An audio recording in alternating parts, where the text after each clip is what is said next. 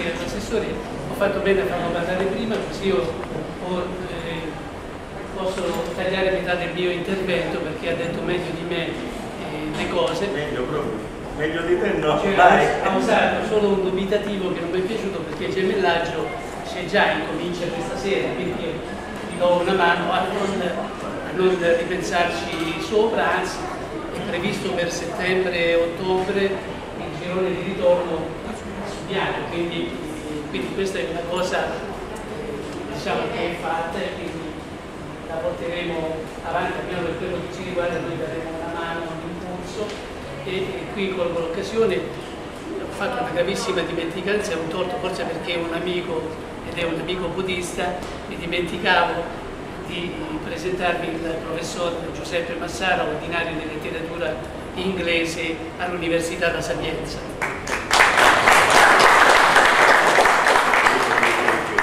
Poi ho dimenticato anche un altro amico che è Giorgio Grillo, che è il mio presidente del centro culturale Repetit ed è questa sera in doppia rappresentanza perché rappresenta anche Valmira Pasqualini e eh, Paola Gaiardo che non possono essere presenti, sono del coro Accordi e Noti, il quale verrà, eh, penso, a Subiaco ad allenarvi così imparare a venire in posizione ridotta a questa, questa iniziativa. E quindi sentirete il coro Accordi e Note eh, a Subiaco, quindi fuori casa. E rispetto a quello che ha detto l'assessore, che era molto ben detto, io volevo soltanto così eh, ricordare un po' qual è stata la storia di questo, di questo libro. La storia di questo libro è stata eh, una di quelle combinazioni che accadono nella, nella vita. C'era Padre Pio di cui molto eh, un fan, il Prosperi, il quale diceva sì, combinazioni, ma chi combina le combinazioni?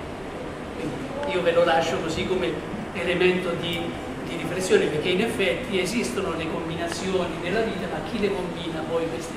queste combinazioni questo non si sa chi crede trova la risposta immediata chi non crede eh, brancola cercando di dare una, una, risposta quindi io ho incontrato eh, Giovanni attraverso la presentazione a Narratatuglia ai versi che è un libro che a me è piaciuto tantissimo nella, nella, lettura che mi ha accompagnato per una settimana eh, di studio eh, profondo perché non mi arrendevo all'idea di questo poeta che veniva fatto passare come un poeta comico punto che faceva ridere perché poi dal dialetto ci si aspetta che il poeta faccia ridere mentre i poeti quelli validi dialettali fanno ridere e piangere come succedeva anche al grande Dante Alighieri senza fare paragoni eh, immodesti. Però il vero poeta è uno che sa far ridere e piangere magari in un, in un solo verso. Voi provateci vedrete che è una cosa molto difficile. E quindi eh, io ho notato nella presentazione che faceva del libro Giovanni Prosperi una lettura che eh, diciamo, collimava con quello che mi veniva eh, come considerazioni, quindi il senso dell'ironia, dell'autoironia, questo canto sommesso ed epico, io uso le parole perché quando le parole sono pesate bisogna dire quelle non far finta di essere più intelligenti e usare delle altre parole. Lui parlava di Prosperi, canto sommesso ed epico, di una Subianco non più idealizzata ma accuratamente passata al setaggio di un osservatore vigile, moralmente vigile,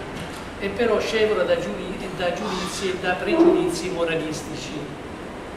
E poi praticamente argomentava tutte queste cose e le argomenta ancora di più, ma io non dirò niente del nuovo libro perché altrimenti che cosa abbiamo fatto scomodare un professore universitario? Se, avevamo già la...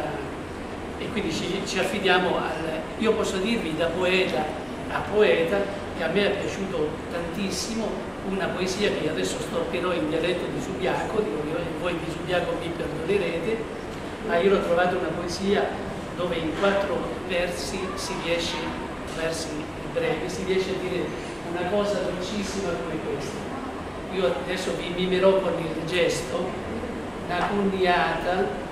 e una carezza in angelo e Sara Penneca.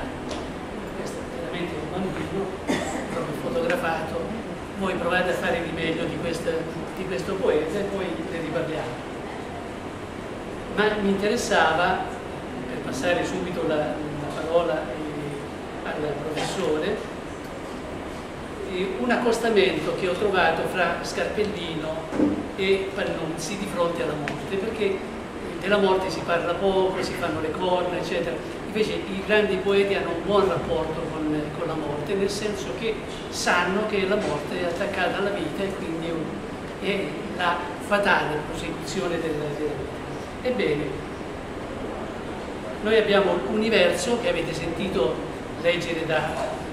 Benedetto Lupi, che appunto affronta questo argomento abbiamo un Pannunzi che non ha nessun, nessuna paura più in questa contemplazione dell'universo. E abbiamo però un parallelo con Scarpellino che in un'altra foglia al vento, che è naturalmente uno scritto che riguarda più intimamente noi, conclude con questi due versi, parlando della sua morte, che doveva ancora avvenire ma tu non ci stai più,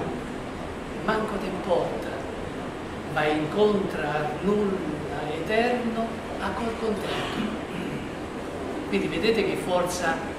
hanno questi poeti di fronte a un atto importante come noi oggi il tema della serata è scoprire l'altra faccia di, di Pannuzzi e qui vorrei dire un'altra cosa. A me è successo personalmente tra l'altro una felice coincidenza anche questa, mio padre avrebbe fatto 100 anni diciamo, in, questo, in questo mese, mio padre era una persona straordinaria, analfabeta, eh, però aveva molte cose da insegnare, ce ne ha insegnate più di, più di una. Ecco, mio padre aveva avuto una vita avventurosissima, è stato dieci anni tra guerra e prigionia e eh, quando sentivo raccontare le cose di mio padre da degli estranei, avevo un profondo senso di fastidio,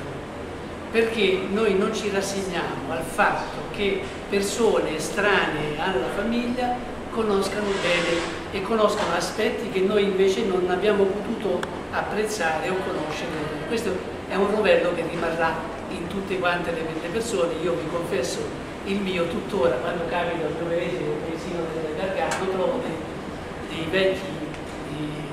amici di mio padre che mi raccontano degli, degli episodi e io un po' eh, rosico, diciamo. Ecco, quindi questo può accadere anche nell'introspezione, nel, lavoro, nel lavorio che fanno i critici sui poeti. E quindi io sono curiosissimo, come spero anche eh, voi. Volevo citare soltanto, siccome siamo reduci dei mondiali, anche un aspetto importante, ecco questa è una cosa che mi ha raccontato Marcello Refrigeri, non so se, se, se Renata lo conosce, che è uno che ha giocato con, eh, con Achille e lui mi ha descritto come faceva i gol Achille, quindi per i calciofoni che sono presenti, lui che cosa faceva? Stoppava di petto, si girava, faceva una giravolta e segnava, ne ha fatto 288 di, di gol, quindi scusate se, se è poco.